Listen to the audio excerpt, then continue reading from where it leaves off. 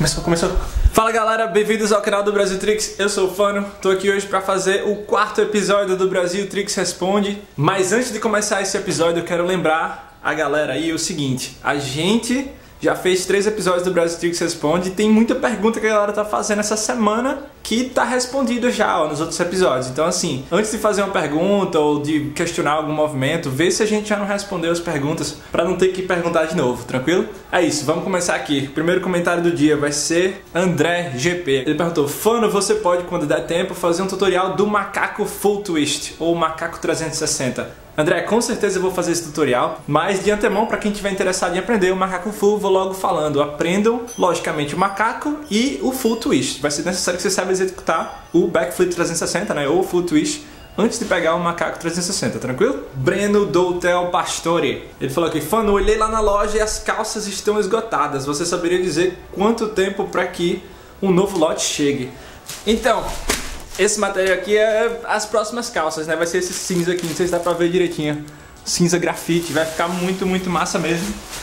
É, as calças nessa cor e a previsão para elas estarem prontas é no começo de setembro, certo? Pode ser que seja um pouquinho antes, mas no começo de setembro já vai ter calça na loja, que inclusive vai estar também no nosso site, vai estar disponível no telefone, então assim, vai ser bem mais legal pra galera comprar essa próxima leva aí, essa segunda edição da calça da gente. Próximo comentário aqui é do Dark Games BR. Ele perguntou aqui: Como você consegue ficar segurado em um muro, fano? Minha mão dói. Tem alguma dica de não doer? Cara, não tem. Vai doer mesmo, dói. Nem tudo no parkour é facinho e não dói não.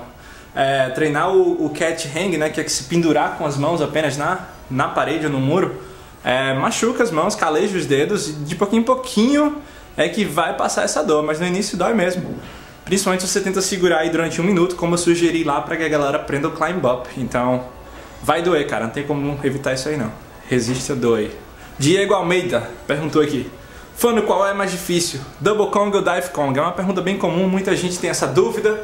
É, como a gente sugeriu no canal, o Double Kong ele é mais complexo, ele é mais difícil, porque ele exige que você saiba dois Kongs. O Kong normal e o Dive Kong. Então, logicamente, a gente considera o Double Kong mais difícil. Eduardo Lucas Filgueiras, ele perguntou: Quero começar a treinar parkour, por onde começo? A gente ainda não tem um vídeo detalhado sobre isso. Eduardo, começa pelos movimentos mais básicos do canal e vai aprendendo de pouquinho em pouquinho, seguindo as progressões, respeitando seus limites e fazendo tudo com segurança. Fora isso, vai lendo aí na internet os sites que existem com informações sobre o parkour e tal, e vai aprendendo de pouquinho em pouquinho. No futuro a gente grava aí um passo a passo mais detalhado sobre como iniciar no parkour.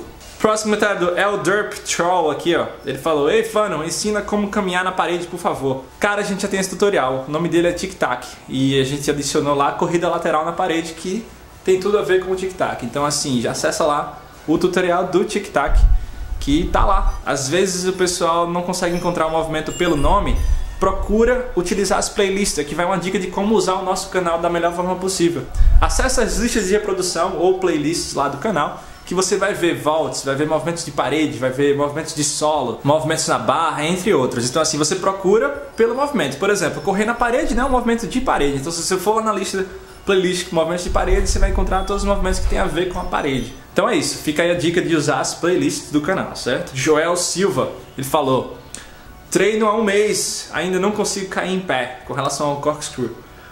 Ele fala aqui: tem pessoas que têm talento, hoje o cara só em ver já fez. É, Joel, isso na verdade é um mito, certo? O que acontece é o seguinte: algumas pessoas elas estão mais preparadas para aprender um movimento devido a um treinamento prévio que ela teve. Outra coisa é, se você está errando o corkscrew, pode ser que você não tenha ainda a base de outros movimentos mais simples que o cork, por exemplo, como o B-twist ou o air twist ou o cheat gainer né, que a gente usa para aprender o cork. Então trabalha aí todos esses pré-requisitos para facilitar o aprendizado do cork, tranquilo? Kaique Estevan falou aqui.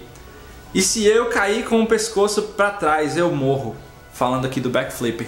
Cair que é o seguinte, é, eu, eu nunca tentei não cair de cabeça não, com o pescoço para trás, para ver se, para ver o que aconteceria. É, mas eu vou tentar, vou fazer um teste aí e se der certo, eu volto para dizer como é que foi. Se não der certo, e é isso, valeu galera, foi muito bom mesmo ter participado do Brasil Tricks e enfim, fica aqui minha despedida caso dê errado lá o backflip, né? Mas se der certo eu vou estar de volta aqui para o episódio 5. Leonardo Correia, Leonardo perguntou uma pergunta muito boa aqui. Falou, Fano, não consigo girar o back full, tenho medo, já tentei, mas não sai. Ele tem até o cork é, e manda de boa, sem medo, mas o back full não saia. Me ajuda aí. É, Leonardo, às vezes a gente pensa que o cork ele é mais parecido com o back full do que é, outros movimentos do tipo air twist. Então assim, eu sugiro, cara, que você tenta, por exemplo, iniciar o full twist, o mortal para trás, né, com pirueta, de uma forma assim mais roubada, mais de lado. Você já fica meio que de lado aqui e aí pensa em executar um air twist. Você pensa que vai subir aqui, ó, e vai executar um air twist. É assim que você vai meio que destravando o full twist, certo? Meio que associando ele a um air twist que está saindo de uma posição daqui. Ao invés de sair de frente, você está saindo de trás, mas está subindo e executando um air twist. Então, enfim, vê se isso aí funciona.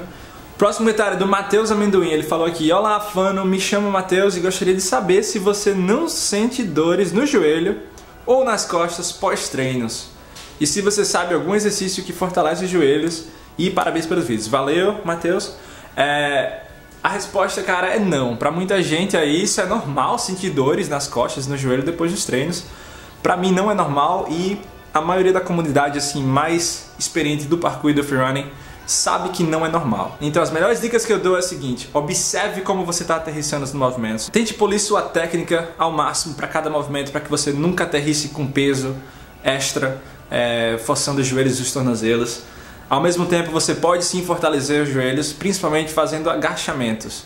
Um dia a gente vai fazer vídeos de exercícios e blá blá blá, mas por enquanto, agachamentos. Procura na internet aí, agachamento ou squat em inglês.